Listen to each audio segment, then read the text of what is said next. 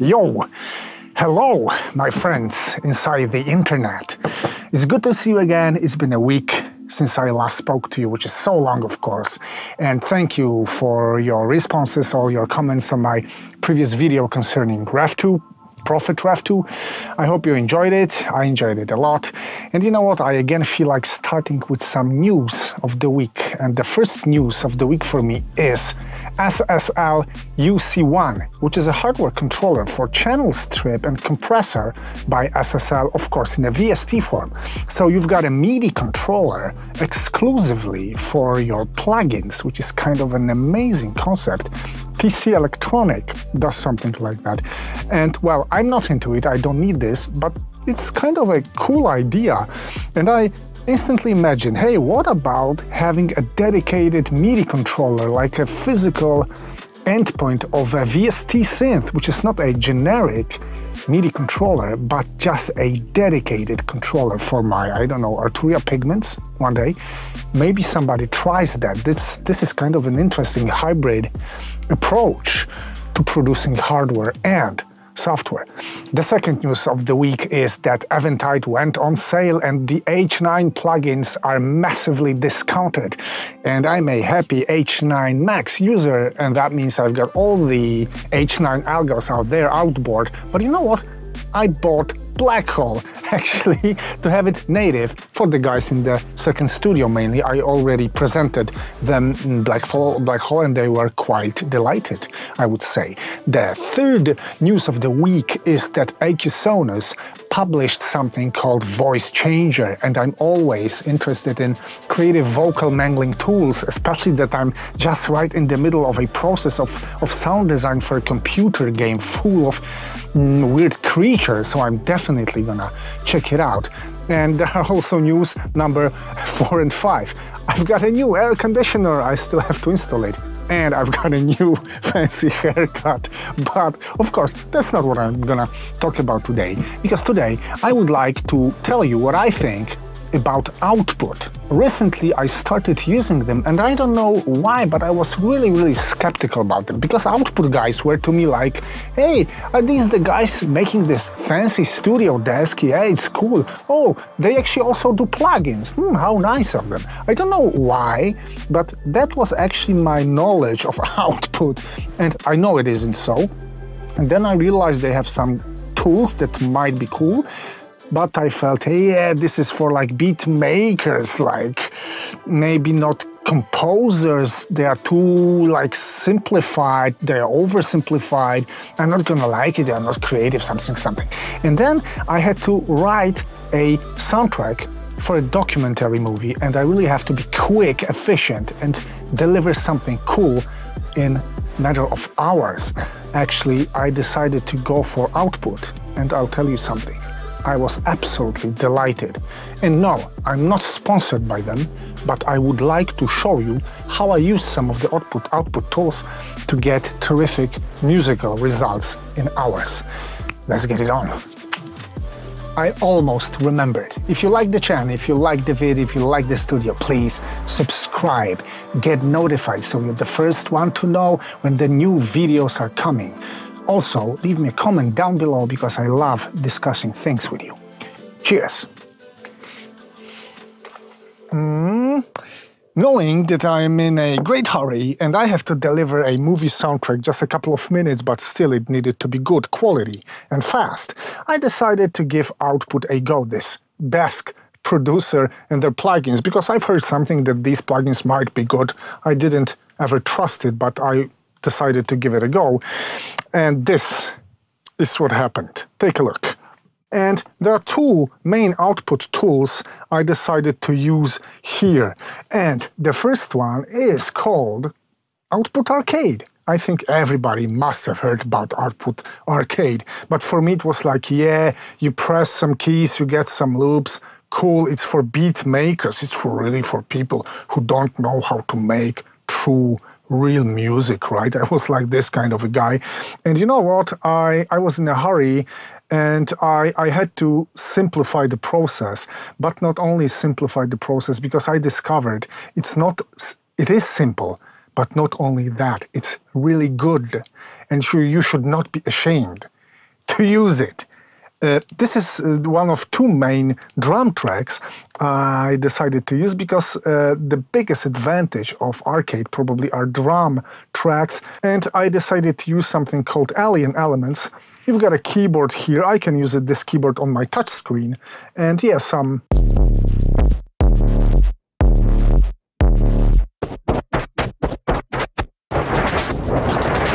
that's it. It sounds and looks very simple. You can stretch it. Oh.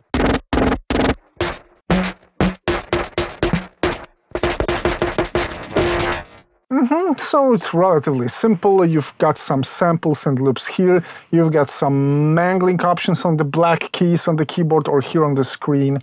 And of course, you can use them as loops and you can just give them a go as they are and it's still going to be terrific.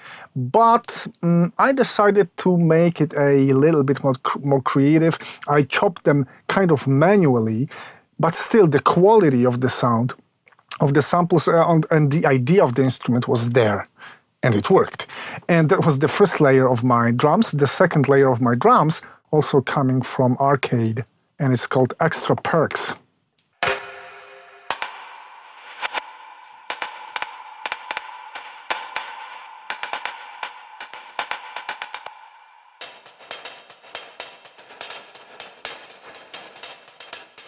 And so on and so on and so on.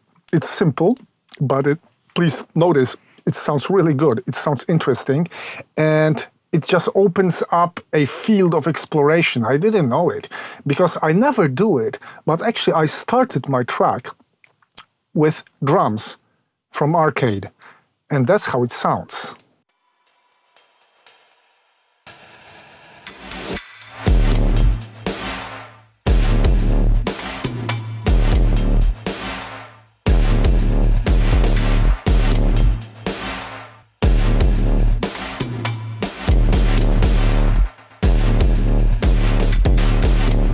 Yeah, let's stop here before it's too late.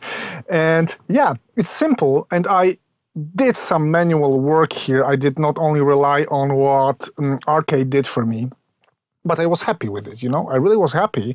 And it wasn't like oversimplified for some dumb people like I thought it's gonna be. Mm, it's a quality, creative tool, and I was really shocked. And not only that, because, yeah, that's the first tool, and there's one more, and yeah, this is my favorite output tool. And I do respect Arcade. I was positively surprised, but the next one is the one I fell in love with, and it's the best tool of its kind I ever tried. And it's called Portal. And again, everybody must have heard about Portal, right? I knew it's granular, I've heard it's creative, I've, I've, I've heard it's cool, but it's made by the guys that are doing studio tasks on regular basis or something. Eh, I have no time. I'll give it a go. Mm. And this is what happened.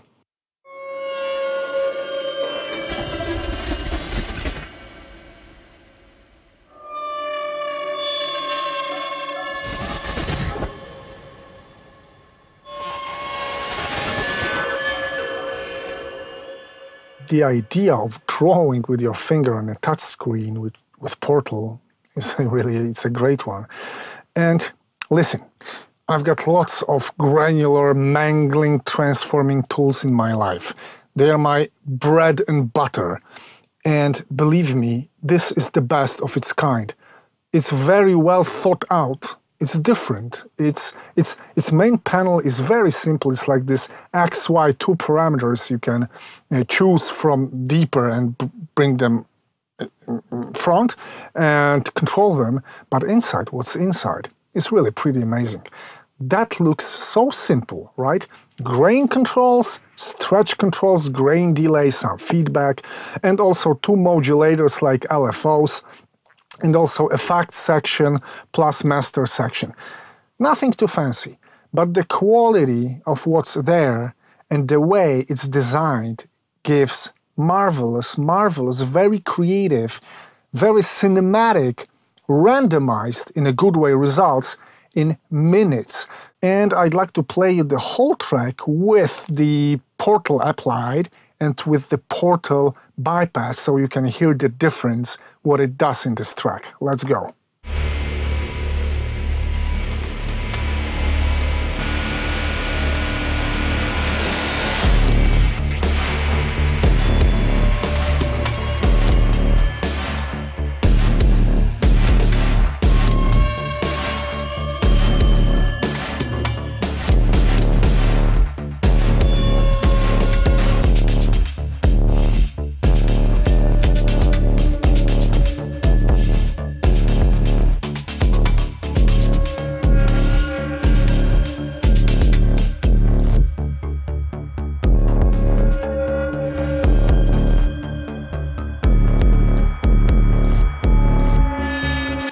Used seven instances of Portal on this track and yeah, I believe they made a massive difference, but if it does not convince you, I'll have something else that might convince you. Let's switch the projects. Boom! Do you remember when two episodes ago I became a famous rapper for you to present you how mobile vocal shields work? Whatever. You know what? I'm gonna use Portal on the vocals I have here, so you're gonna hear that it's massive. It's great. Jestem Paweł, tak, tak to prawda MC ze mnie żaden, nie wygrywam. Bitew polski hip-hop nie zna, no tak, za, same przejdźmy do sedna. Skleiłem kilka wersów i stworzyłem to badziewie. Czy dobrze się bawicie? Tego tak naprawdę nie wiem. Mam nadzieję, bo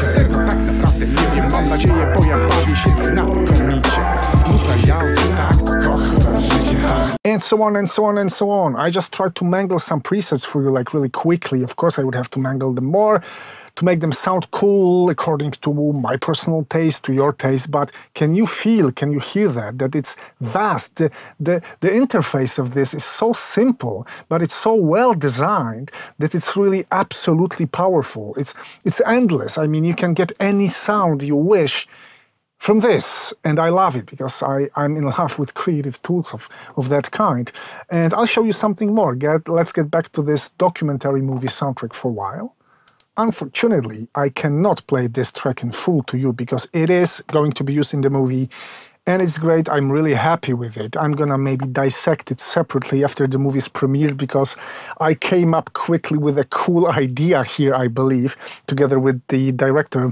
Hello, Mikołaj, you're a cool guy. I love doing movies with you. And well, Portal really, really helped. It was gentle this time. It was kind of precise. I sculpted it a little bit more. I used it, I used this just twice, as I remember, but it gave this thing huge, huge, beautiful flavor. And now I want you to take a listen.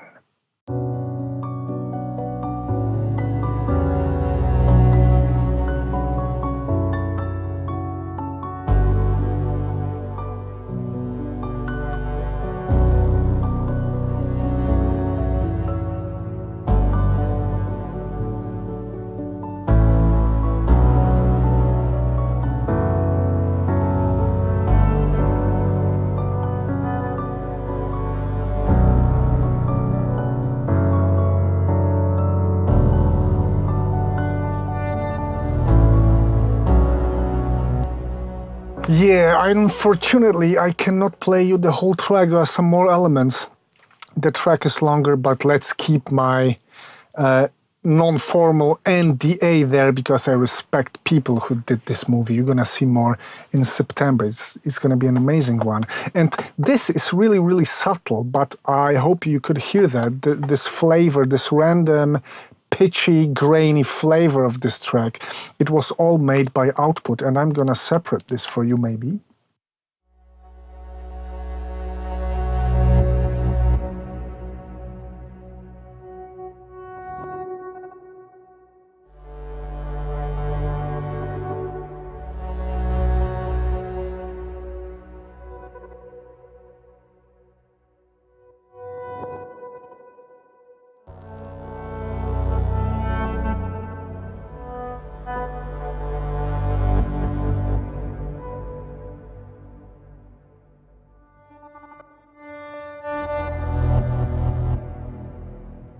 I have to tell you that I really don't know any other tool that lets me achieve terrific creative results so so quickly. But guys mm, that's it. That's that's what i wanted really to show you because i enjoyed this. I wanted to share it with you.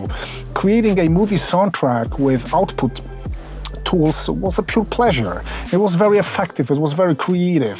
And I've got nothing about beat makers. If you ask me, do what you do, guys, be terrific at it. And arcade is perfectly for you, but it's also perfectly for people like me who've got more this producer or even composer approach. So, mm, is there any way to sum the things up? I think it's not needed. For now, guys, Take care, I hope you enjoyed it, and I hope to hear you soon. Please note that there's, yeah, one more news. I'm going for a short vacation. For the first time for a year, I'm gonna have seven days freedom. And I'm gonna really take a serious, serious lesson because I, I never tell you, but I'm really dead tired with what's happening right now in the, in the studio and not in, in the studio. So if I don't publish in seven days, please don't be mad. I'll be back to you soon with more audio goodies that you hopefully gonna like. Take care.